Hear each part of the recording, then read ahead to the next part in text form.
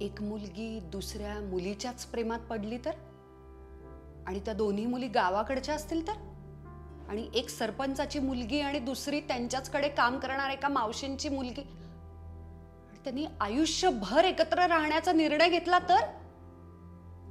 काय काय होईल काय? त्यांच्या प्रवासाविषयी आज गप्पा मारूयात. आणि म्हणूनच व्हिडिओ शेवटपर्यंत पाहत राहा. नेमकं आज गावाला आलोय आणि आजच असली भारी बातमी समजली. महादे महादे महादे खूप मोठी लढाई जिंकलो ग आपण. मला तर काय करावं तेच समजत नाहीये. एवढं सांगून पण त्या भिकाऱ्या पोरींनी करायचं तेच केलेलं आहे. म्हणजे कम्युनिटीचे मेन मेंबर या नात्यानं आपल्याला काही किंमतच नाहीये का? म्हणजे मला नाही माहिती या लढाईत आपलं काय योगदान आहे. पण आपण आगीला फुंकर घातली एवढं क्रेडिट तर आपण नक्कीच घेतलं पाहिजे की नाही.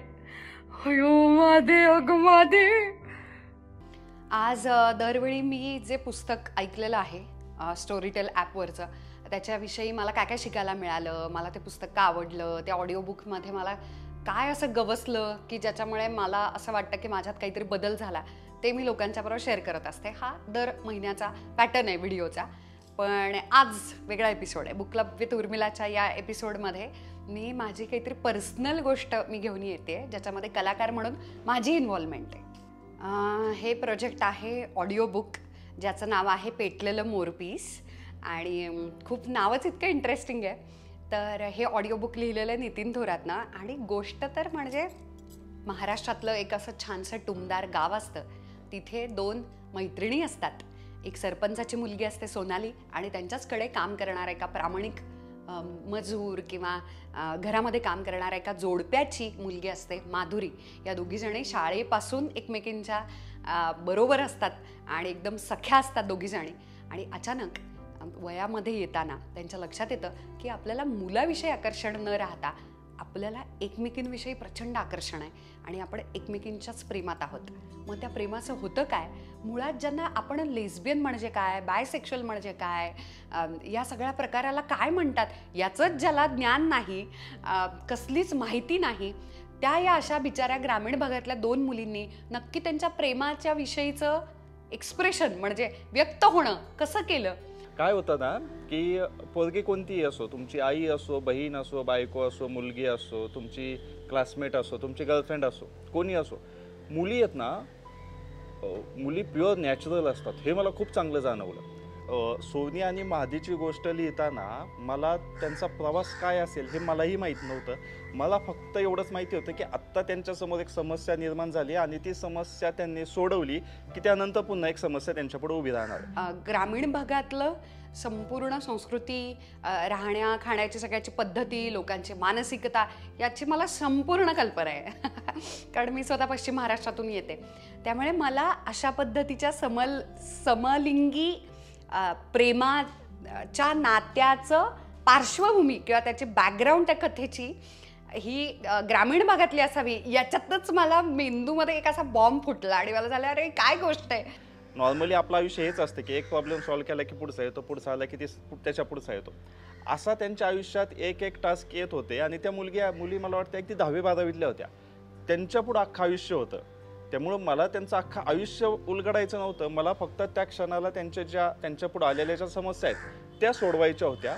त्या सोडवता सोडवता त्या कधी एवढा मोठा त्यांचा म्हणजे त्यांच्या आयुष्याचा डोंगर होऊन तयार झाला हे मलाही कळालेलं नाही आहे आत्ता आपण सगळ्या ओ टी टी प्लॅटफॉर्मवर बघत असू तर आपल्याला एक जाणवेल की समलैंगिक संबंधांवर आधारित लव्ह स्टोरीज म्हणजे अक्षरशः पेव फुटले. खूप सारा कंटेंट त्यावर आधारित येतोय.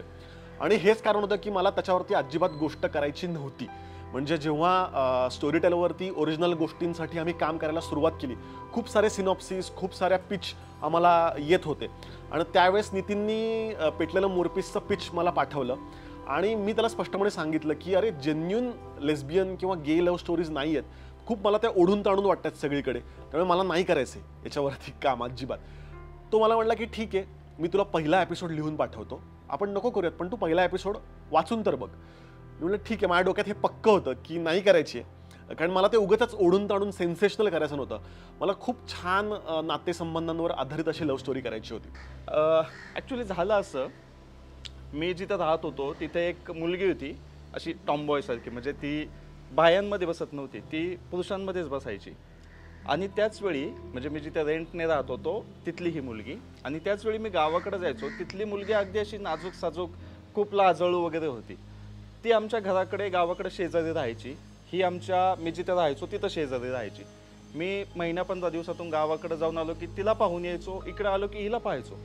ह्या दोघींमध्ये एवढा मोठा फरक होता ना अशा वेळी मला वाटलं जर या दोघी एकत्र आल्या तर काय भन्नाट स्टोरी असेल? मग मला वाटलं की यार आपण हा जेव्हा दोन विरोधाभास एकत्र येतात ना तेव्हाच ती चांगली गोष्ट होती. तेव्हा मला वाटलं या जर समजा मैत्रिणी असतील मग मैत्रिणी असतील तर पुढं काय काय घडू शकतं? त्यातून ही गोष्ट तयार झाली. आणि एकच असं तगडं पुस्तक माझ्याकडे आलं मोठं ऑडिओ बुक आणि ज्याचे सीझन्स पण निघाले त्याच्यातल्या प्रत्येक पात्राला मला आवाज द्यायचा आहे. हे मला कळल्यानंतर मला इतकी मजा आली कारण मी फक्त ऑडिशनची क्लिप पाठवलेली. त्या दरम्यान भरपूर मराठी अभिनेत्री आणि वेगवेगळे प्रोफेशनल व्हॉइस ओव्हर आर्टिस्ट त्यांनी त्यांच्या ऑडिओ क्लिप्स पाठवलेल्या. मग लिहून झाल्यानंतर आवाज कोणाचा आहे याच्यावर आमची खूप चर्चा चालली होती आणि ऑफकोर्स पब्लिशिंग मॅनेजर म्हणून माझाच कॉल होता. आणि खूप सारे व्हॉइस सॅम्पल आले पण होते. पण मला हे पक्का माहिती होती की उर्मिला उत्तम याला आवाज देऊ शकते. पण परत मी सांगतोय म्हणून ते मला नको होतं. त्यामुळे मी आयडिया काय केली की मी उर्मिलाकडनं छानशी ऑडिओ क्लिप रेकॉर्ड करून घेतली आणि ती आमच्या टीमला पाठवली. आणि खूप साऱ्या ऑडिओ क्लिपमध्ये म्हणलं की तुम्ही ही ऐका. आणि ती ऐकल्यानंतर प्रचंड आवडली ती आणि सगळ्यांचा त्याच्यावरती मला रिप्लाय आला प्रत्येक टीम मेंबरचा की अरे हा खूप छान आवाज वाटतो आणि हा परफेक्ट जातो ही कोण आहे आर्टिस्ट तू आर्टिस्टचं नावच नाही सांगितलंस. तर मग तेव्हा मी सांगितलं की उर्मिला ही माझी बायकोच आहे. त्याचं कारण असं आहे की जे मला वाटतं ते बाकीच्यांनाही वाटणं खूप गरजेचं होतं. ते चॅलेंज झालं छानपैकी. पण बऱ्याच आपले बऱ्याच लोकांची गंमत हीच राहते की लेस्बियन लव्ह स्टोरी म्हटल्यावर त्याच्यात काही सीन असतील काही अश्लीलता असेल पण मुळात त्याच्यामध्ये काहीच नाही आहे याच्यामध्ये फक्त निर्मळ प्रेम आहे. आणि ते ज्याने त्याने आपापल्या अंगाने घ्यावं असं मला वाटतं. आणि जेव्हा त्यांनी पाठवला पहिला एपिसोड आणि मी वाचायला लागलो तेव्हा म्हणजे हे गळून पडलं की ही लेस्बियन लव्ह स्टोरी आहे किंवा म्हणजे मी त्या दोघींकडे माणूस म्हणूनच संपूर्ण बघायला लागलो. त्या दोघींमध्ये मी प्रचंड इन्व्हॉल्व्ह झालो. आणि मी विसरून गेलो. म्हणजे त्याचा तुला कुठलाही त्याचा टॅग लावणं मी विसरून गेलो. आणि मला वाटलं की ही खूप छान आहे ही गोष्ट आणि ही करायला पाहिजे. मुळात तेच झालं ना की पहिल्यांदा मी म्हटलं ना की आपण मुलीकडं फक्त मुलगी म्हणूनच पाहतो. पण ही गोष्ट ऐकल्यानंतर ना मुलगी मुलगा हा भेदच राहत नाही. कारण दोन मुलींच्या आयुष्यात आलेले एवढे मोठे स्ट्रगल आहेत ना की एक आपण नॉर्मली म्हणत असतो की मुलगा मोठे मोठे प्रॉब्लेम सॉल्व्ह करू शकतो. पण या दोन मुलींनी जे एवढे मोठे मोठे प्रॉब्लेम सॉल्व्ह केलेले आहेत ना म्हणजे पहिल्यांदा फॅमिलीशी लढायचे मग गावाशी लढायचे मग संपूर्ण एका समाजाशी लढायचे. हे एवढं मोठं चॅलेंज त्यांनी म्हणजे एवढं मोठं आव्हान त्यांनी इतकं लिलया पेललेलं आहे एवढे मोठे स्ट्रगल त्यांनी व्यवस्थित सॉल्व्ह केलेले आहेत ना. त्यामुळे लिंगाच्याही पलीकडे जाणारी अशी ही गोष्ट आहे. आणि त्यामुळे आम्हाला वाटलं की ती करावी. आणि एकच कादंबरी करायची असा असं होतं. पण ज्या लेवलला त्याला रिस्पॉन्स मिळायला लागला आणि स्त्री पुरुष दोघांनाही ती कथा खूप जवळची वाटायला लागली. आणि हे मी का सांगू शकतो रिस्पॉन्स कारण स्टोरी टेलवरती थेट कळतं की किती लोक ऐकतायत किती वेळ ऐकतायत कुठून ते सोडतायत. आणि भरभरून प्रतिसाद पेटलेला मोरपीसच्या पहिल्या सीझनला मिळाला. त्यामुळे दुसरा सीझन आणि हा तिसरा आणि शेवटचा सीझन आम्ही घेऊन येतोय. पुस्तकातून काय मिळालं? आता मला प्रेक्षक म्हणून ऐकणारा श्रोता म्हणून मी सांगते. व्हॉइस ओव्हर आर्टिस्ट कलाकार वगैरे मी त्या प्रोजेक्टचा भाग होते बाजूला सारून सांगण्याचा प्रयत्न करते. जसं मी प्रत्येक बुक क्लब विथ उर्मिलाच्या व्हिडिओमध्ये सांगत असते. तर मग तुम्हाला पण हे कदाचित मिळू शकतं पण मला गवसलेलं म्हणजे हे पुस्तक ऐकल्यानंतर आपल्याला लक्षात येतं की ना आपण सगळेजणं स्त्री पुरुष आर्थिक परिस्थिती अचिव्हमेंट्स करिअर वयाच्या कुठल्या टप्प्यावर मान सन्मान या सगळ्याच्या पलीकडे जाऊन ना आपण शेवटी माणूस होतो. आणि माणूस हा इतका असा नागडा उघडा गोड छान वल्नरेबल बिचारा आणि तरीही ताकद असलेला असा तो असतो. आणि तो तो प्रत्येकाचा प्रवास आहे ना थोड्याफार प्रमाणामध्ये सारखा आहे. त्याच्यामुळे ना आपण कोणाला जजच नाही करू शकत असं मला या पुस्तकातून मिळालं.